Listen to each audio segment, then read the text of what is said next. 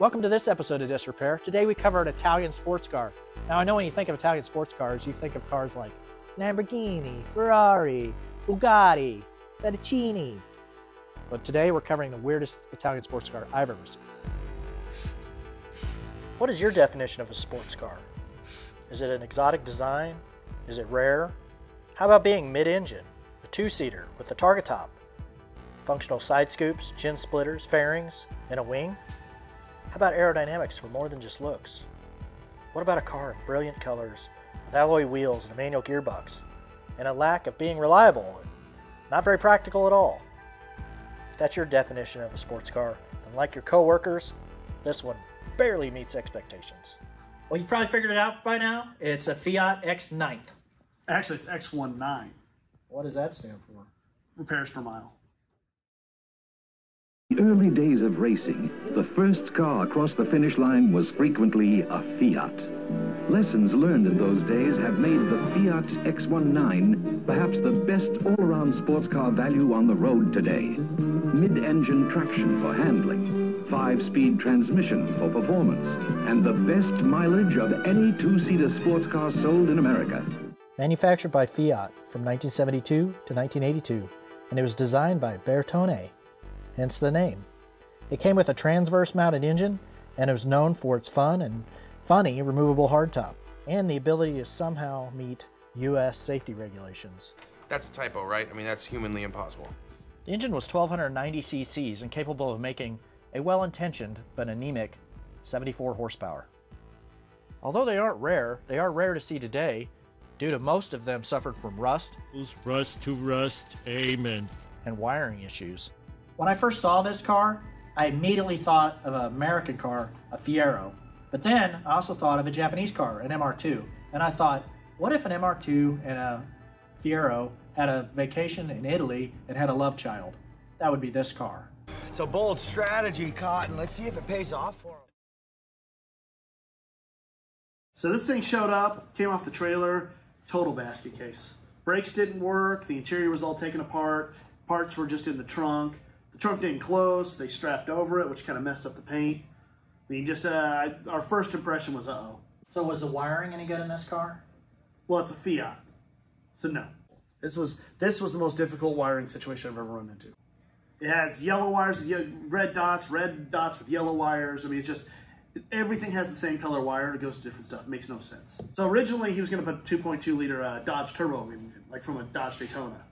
Um, so they did a lot of modifications, cut out the cross member, cut out the uh, the divider between the uh, engine compartment and the trunk, and uh, just made a real mess of things. So it has an odd transmission. Tell me about that. It's really odd. It's a uh, it's actually a Dodge like from a Dodge Sundance cable shifted transmission. Not meant to be there. There's no mounts for it. We had to come up with a system to mount it, make custom mounts to put it in there. It also had a clutch that operates on pull instead of push. But this slave cylinder pushes. In this case, it had a pull, so we had to make a bell crank to pull the clutch instead of push. So tell me about how you got the motor into this car. So it's a Hyper 9 motor um, with a Dodge A523 transmission. There's not an off the shelf solution for that, so we did have to custom make an adapter for that. We also had to custom make a clutch disc to adapt the, the size of flywheel to the splines of that transmission. Other challenges? You said the speedometer was a real challenge on this. Definitely not. Oh, yeah, like everything else in this car, I had to make a custom solution. So the Dodge Sundance transmission has a VSS on it. It doesn't have a gear. And these were driven off of a gear. Yeah, we had to make me a custom print, 3D print a piece to adapt those two things together. Seemed like I saw like a Dakota Digital box in there. Is that right? Yeah, so it's a, that's a Dakota Digital. Uh, they they convert like VSS or GPS signals to uh, revolutions for a a uh, mechanical speedometer. You know, you got the clutch, you got the transmission, you got the motor, but you still have to get the power to the wheels. How did you tackle that problem? So they don't make an axle for this, obviously. We had the uh, custom-made axles axles from Dutchman.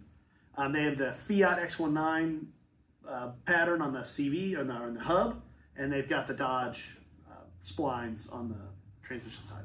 Tell me about there was there were some other things that were just missing that you would normally run into on a car like this. Something about the engine mounts or engine braces. Can you tell me more about that?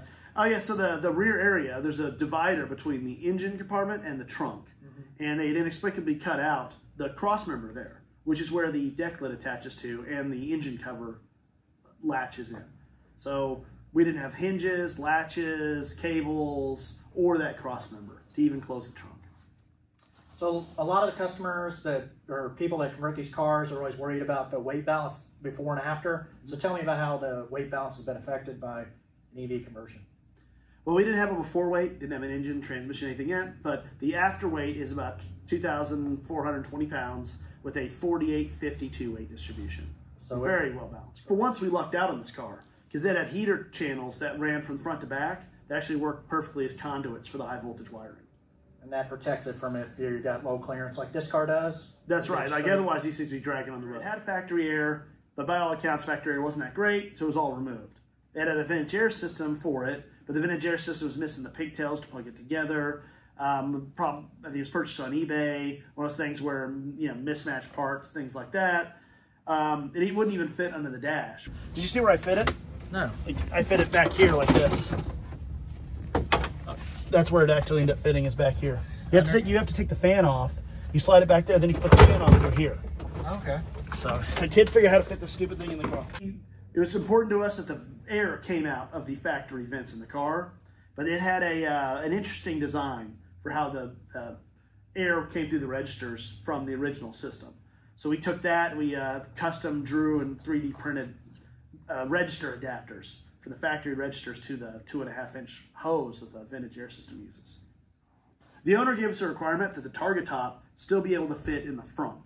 So how was that? Was that? Did you accomplish that? We did. The battery box sits low enough and the mounts are high enough that yes, the top still fits exactly where it would fit originally. I, I take a bit of pride that it's on the road now. I do because this thing. You think about all those those cars get handed from shop to shop. A lot of these cars end up in the salvage yard by, or parted out by the end of it because they get so hopeless. I mean, to to get it back on the road, that's that's a that's something we can take some pride in.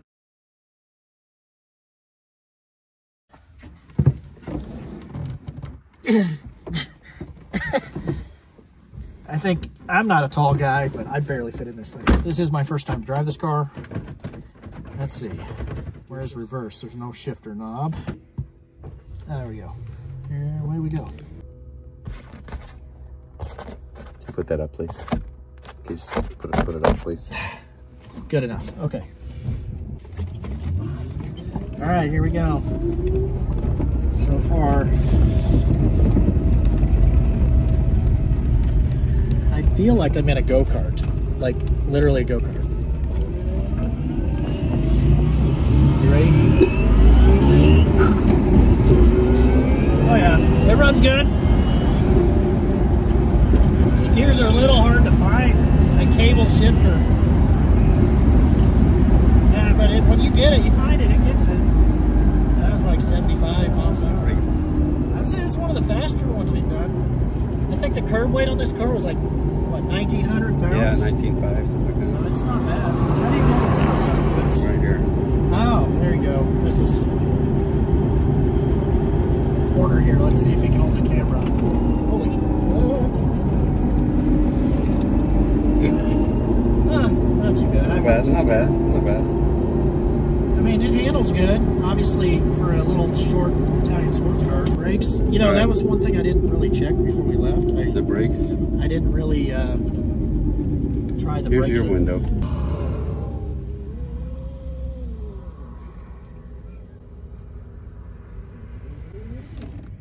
Done. It's up. Try that in All the right. drive-through. Have to be real honest. Compared to the other cars we've done, I think the Volkswagens drive better, and the Karmann Ghia. I think it, it's a better driving car. But like I said, there's still people who love these things.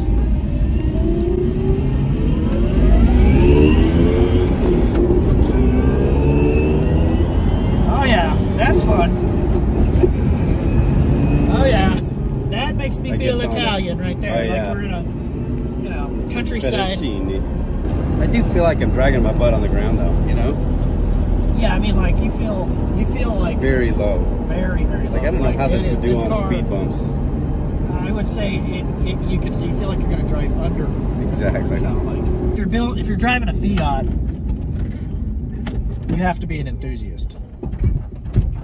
You know, the EV conversion part of this is, uh, I mean, I'm definitely, I can, you know, I think it, it's a better car. I didn't get to drive it before because obviously it didn't run because it's a Fiat. We're just having to go by his word that it sucked.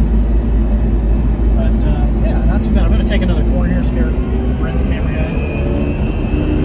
Scare me. It's all on. I wonder how old those Beautiful. tires are. Beautiful. Who knows? You know what it's like? You know what this car reminds me of? It's like riding one of those tandem bicycles where you're on it and you think, man, this is the most fun I've ever had. And everybody that sees you go by just goes, what are those guys doing? Oh, yeah. Okay. Yeah, it's, it's good. We're just fixing to do like a turnaround, so. so, yeah. They thought we were broke down because we're in a Fiat. So one other thing, I guess, would I do this again? Would would we say do an X19? I think if you had a better one, like one that was nice, that was uh, had nobody else to touch, because this car came from another shop. Uh, I think if it was an unmolested original, Brent likes the word unmolested, but uh, if it was a just a pre, primo one, you could probably EV swap it. It wouldn't be too bad.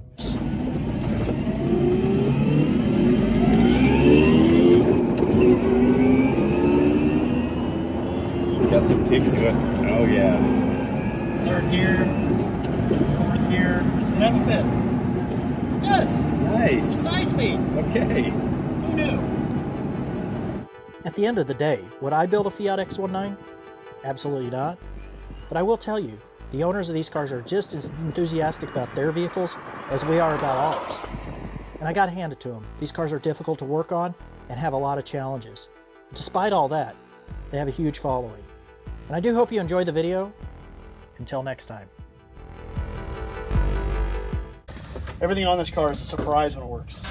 Every once in a while you're reminded this blows hot air out when it, you get your hand in between. What has four letters, starts with F and ends with T. No more clues or hints. Then it kind of stinks. Feet. Wrong. Almost got you in the face. What are you guys doing? Hey guys! Hey guys, what you up to? What you guys doing? I sure want to be included.